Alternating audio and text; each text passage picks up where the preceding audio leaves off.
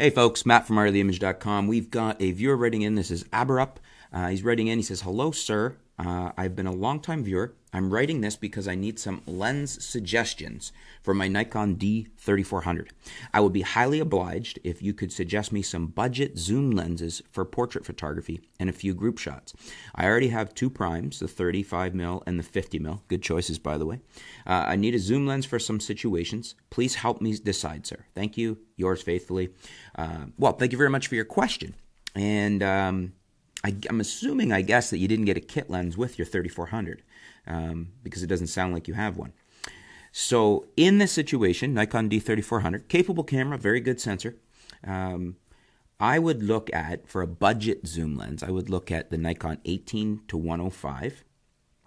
I would look at either that or the Nikon 18 to 140. If you're looking for more of your standard well, those are essentially standard kit lenses. Those are better than, say, an 18 to 55 kit lens because they give you that additional reach. If you have a little more money, depending on what your budget is, which you didn't say exactly what your budget is, um, I would consider, if you want an all rounder, the 18 to 300 would probably be my first choice for an all round travel uh, standard zoom to have on the camera in most situations. And then in situations that require, you know, lower light or a lighter lens, um, go to your 35 or your 50. So if you're doing street photography, you might want the 35. If you're going to do some portraits, you put the 50 on because it gives you close to an 85 field of view and it gives you that fast lens for depth of field separation. So that's what I would do.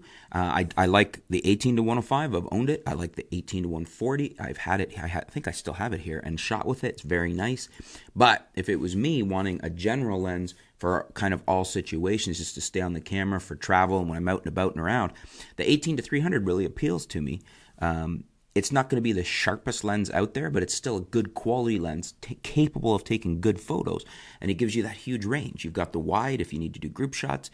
You've got the super long, the 300 mil, which can really zoom in there if you're out and about. And that that that, that versatility uh, of being able to do that, to go from one extreme to the other, uh, outweighs a lot of people's concerns about ultimate quality. And you'll find that a lot of pros like these type of lenses for these type of situations. It's always horses for courses.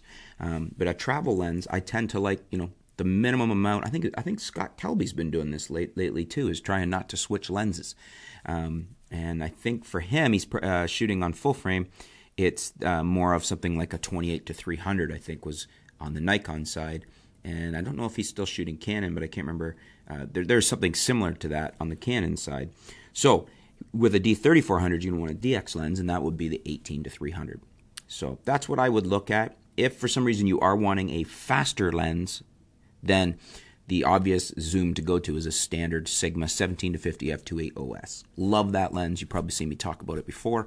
Um, very sharp, very good performing lens. Constant f2.8 aperture throughout the lens. You just get it, it's it's a, what we would call a standard zoom. So you get a constant 2 2.8 aperture lens, which brings in more light, a little bit more separation, not as fast as 1.8, but 2.8 is much better than say a 4 or 5.6, and uh, gives you that faster. You, you just you're just not getting the range. You're getting 17 to 50 instead of 18 to 300. So an option if you want a faster zoom.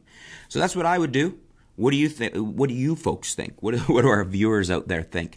Uh, do you agree with what I'm suggesting? Is there another lens you'd recommend? Let us know what you would do and why. Leave it in the comments below. Let's discuss it. Let's help out Abra Aberup here. And uh, thanks for your question. Stay tuned. We'll be back soon here at artoftheimage.com.